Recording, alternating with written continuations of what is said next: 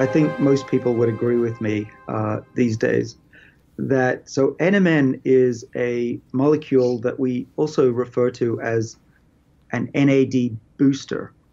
And uh, this is one of the things that my father and my wife and I and our dogs take, actually. Um, I brought a vial here to show you. They just, uh, I take them in pill form. So, what is NAD? So, NAD, everybody learned about it uh, in high school biology and then promptly forgot about it. It may have been the reason why people left science or became disinterested because it, it is the most boring molecule in biology. It's used for about 500 chemical reactions. Um, it's essential for life. Without NAD, we'd all be dead in about 30 seconds. But, you know, we, we were forced to learn these chemical pathways. It's not that interesting. Things got really interesting when we realized that the body was sensing the levels of NAD to determine how it was doing and what the environment was like.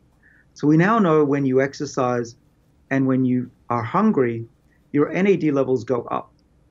Uh, and it turns out that as you get older, your NAD levels go down. And that, that's just a correlation. But what we've shown from uh, numerous animal studies, rodent studies, an increasing number of studies in people is that what's going on is the NAD is turning on the body's defenses against aging through a group of enzymes that we worked on and have essentially uh, spent 25 years figuring out. They require NAD as well. So the hormesis mediators, the enzymes that we think provide the health benefits of diet and exercise, are, are responsible for the longevity that you get when you lead a healthy lifestyle.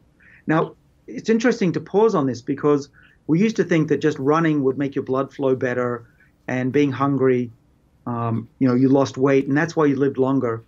But actually, what I believe, and more and more people also believe, is that NAD um, and these other things that raise NAD are working, um, and I, also resveratrol, are working because they're they're actively turning on the body's defenses against aging and it's not a, it's not a passive effect. It's not a coincidence.